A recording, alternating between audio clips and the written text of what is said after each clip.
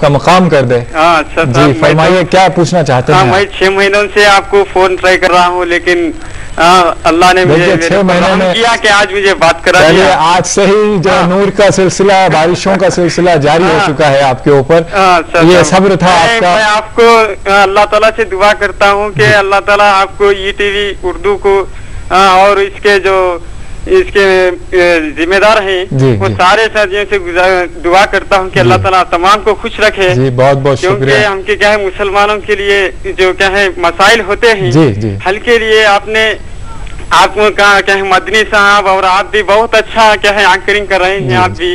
अल्लाह ताला आपको खुश रखे और अल्लाह ताला इसी तरह आपको क्या है जी आइंदा चलकर और क्या है प्रोग्राम क्या है बढ़ाने की कोशिश करें। जजाकल्ला खैर हाँ, और आप शहरी टाइम भी बहुत अच्छा कर रहे हैं। जी, जी। इसी तरह आप इफ्तार का टाइम भी करें तो बहुत अच्छा रहता है।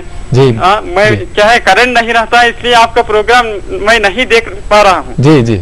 हाँ? जी। लेकिन क्या है रात में फिर देखता हूँ। आपका प्रोग्राम 11 बजे से 12 बजे तक देखता हूँ। अच्छा जी। हाँ बहुत पाबंदी से देख रहा हूँ लेकिन आज मेरा ये सवाल है जी कि एहतिकाफ हाँ?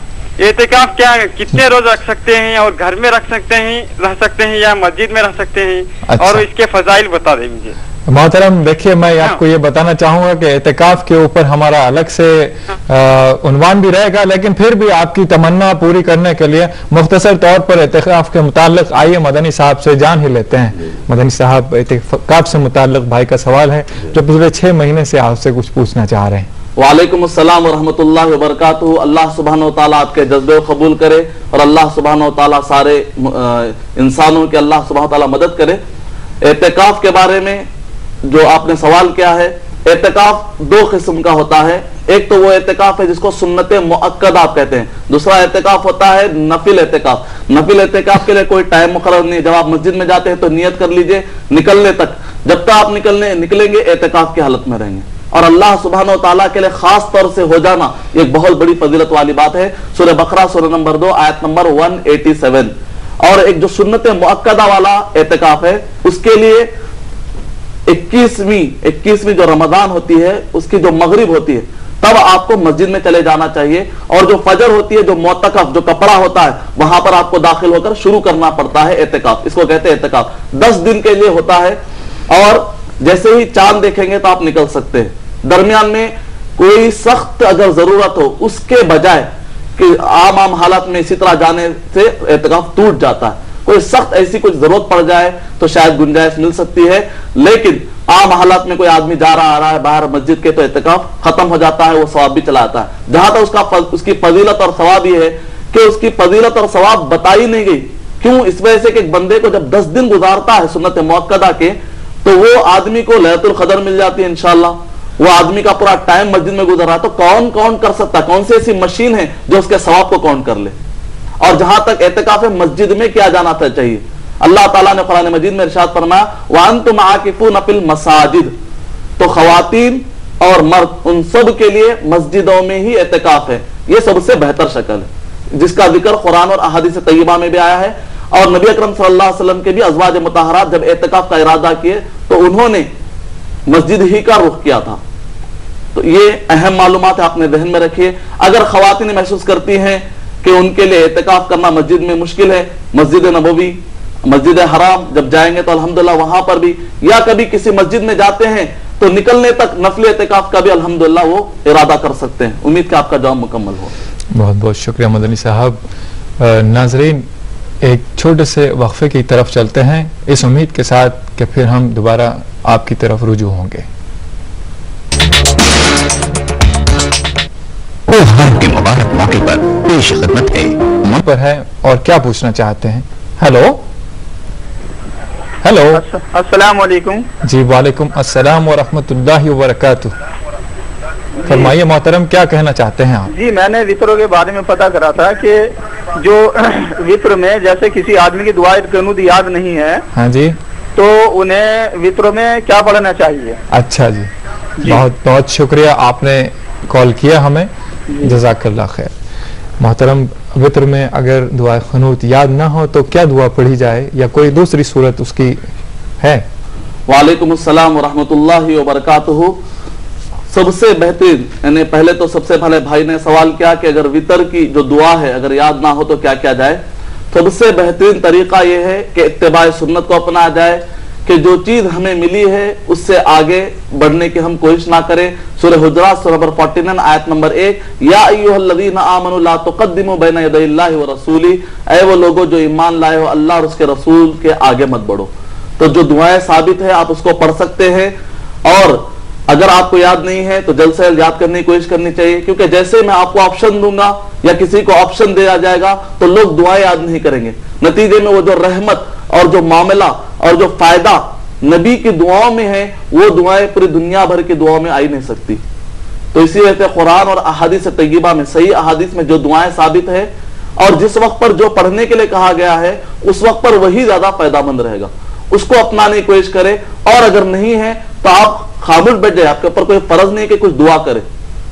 तो ऐसे वक्त पर अगर याद है तो वही पढ़िए, वरना कोई और पढ़ने की खास ज़रूरत नहीं है आपको वाजिब नहीं है। बेहतर है कि उसी सुन्नत को अपनाया जाए। उम्मीद कि आपका जवाब मुकम्मल। शुक्रिया मदनी साहब। आइए और एक एसएमएस लेते हैं। इसे लिखा है शाहाना साहिबा हैदराबाद से while breast feeding can I fast my son is 16 months old 16 साल 16 महीने का लड़का है और बहन दूध पिलाती हैं लड़के को। क्या रोजा रख सकती हैं? वो इस तरह से पूछना। वालेकुम अस्सलाम वरहमतुल्लाहि वबरकातुहू, कि जिस वक्त पर लैक्टेशन जो पीरियड होता है, कि जिस वक्त पर एक खातून अपने बच्चे को दूध पिला रही हो तो ऐसे वक्त पर अगर उसको डर हो कि दूध कम होने का, या बच्चे की जान के खौफ का, या इसी तरीके से अपनी जान के खौफ का तो ऐसे वक्त पर शरीयत इजाज़त देती है कि वो खातून रोजा ना रखे। लेकिन अगर बीमारी का अंदेशा नहीं है, कुछ खौफ भी नहीं है तो ऐसे वक्त पर रोजा रखना चाहिए। सूर्य बकरा सूर्य नंबर दो आयत नंबर 184 हत अब्दुल्ला बिन अब्बास रज़ी अल्लाह तालान हत अब्दुल्ला बिन उमर रज़ी अल्लाह तालान तफसीर तबरी के हवाले के मुताबिक जिसकी सनदे बिल्कुल ऑथेंटिक है कहते हैं कि वो औरत जो हामिला हो या वो औरत जो प्रेग्नेंट और दूध पिलाने वाली हो अगर वो तकलीफ़ महसूस करती है तो यकीनन उसके लिए इजाज़त है कि वो रोजा छोड़ दे और बाद में कफारा अदा करेगी और कफारा कितना अदा करेंगे? दारा कुतनी की रिवायत के मुताबिक जिल नंबर दो और उसका सफ़ा नंबर 207 के मुताबिक। और ऑथेंटिक सनदे हैं इब्ने माजा और तिरमिदी के अंदर भी कि अनस रज़ी अल्लाह ताला अन भी जब बूढ़े हो गए तो उस वक्त पर उन्होंने रोजा छोड़ा। रोजा जब उन्होंने छोड़ा तो उसके बाद जब उन्होंने कफारा दिया तो 30 मिस्किनों को उन्होंने बुलाया घर को और 30 को एक मरतबा खाना खिलाया। दो मरतबा नहीं। आमतौर पर अलबत्ता मशहूर है फतवों के अंदर, बहुत सारे फतवों के अंदर, कि दो वक्त का खाना खिलाने के लिए कहा जाता है। लेकिन बात फतवा हत अब्दुल्ला बिन अब्बास हत अब्दुल्ला बिन उमर रज़ी अल्लाह और खुद अनस रज़ी अल्लाह अगर आप इनके फतवे पढ़ेंगे, जिनका कोई मुखालिफ नहीं है सहाबा में तो अल्हम्दुलिल्लाह बात वाजे हो जाती है कि जो भी रोजा छूट जाता है, एक मरतबा खाना खिला देना, एक रोज़े के बदले में काफ़ी है। उम्मीद का आपका जवाब मुकम्मल मशकूर। आइए और एक कॉलर लाइन पर हैं देखते हैं क्या सवाल लेकर वो बेचैन हैं अपने आप को लेकर। हेलो हेलो हेलो अस्सलाम वालेकुम जी वालेकुम अस्सलाम वरहमतुल्लाह कर जी बहन।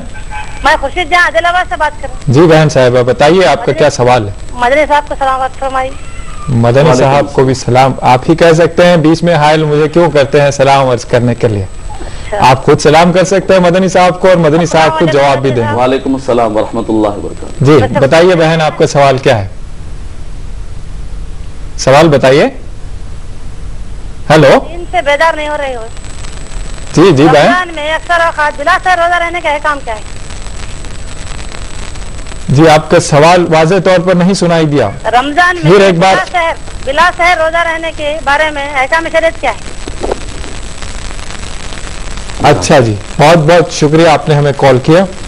आइए आपके सवाल के मुतालिक मदनी साहब से जानते हैं। बिना शहर रोज़े रहने के मुतालिक जो भी अहकाम आए हैं वालेकुम असलम वरहमतुल्लाहि वबरकातुहू। नबी अकरम सल्लल्लाहु अलैहि वसल्लम ने फरमाया सही बुखारी जिल नंबर तीन